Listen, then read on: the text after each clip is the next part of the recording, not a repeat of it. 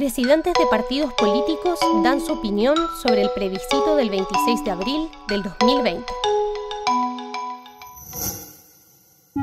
¿Cuál es su postura ante el plebiscito nacional del 26 de abril del 2020? En relación al plebiscito de abril, nosotros vamos a apoyar, eh, en primer lugar, eh, una nueva constitución. O sea, estamos de acuerdo con que eh, tengamos una nueva constitución.